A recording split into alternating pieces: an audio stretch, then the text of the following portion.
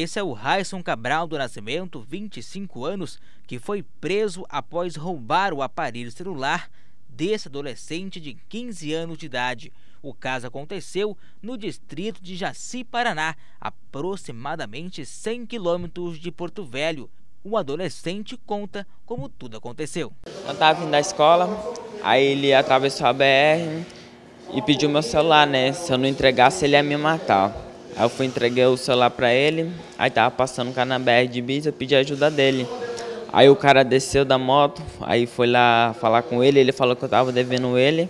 Aí ele foi, pegou, falou que eu tava devendo ele. Aí o homem da moto foi, subiu na moto e foi embora. Dizendo se eu, que se eu tivesse devendo ele, eu tinha que pagar. Aí eu fui pedir ajuda lá para outro cara lá, ele foi embora também. Aí eu saí correndo, aí eu vi o policial, aí ele me, ele me ajudou, né? Aí o ladrão, ele, ele fugiu.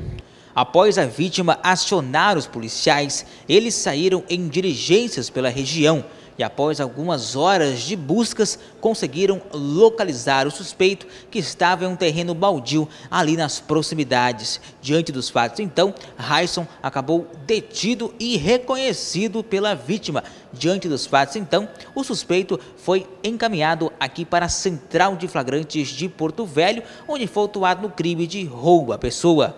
O celular não foi localizado. As imagens são de Osinaldo Alencar, John Silva, o plantão de polícia, o retrato da realidade Serra Tox.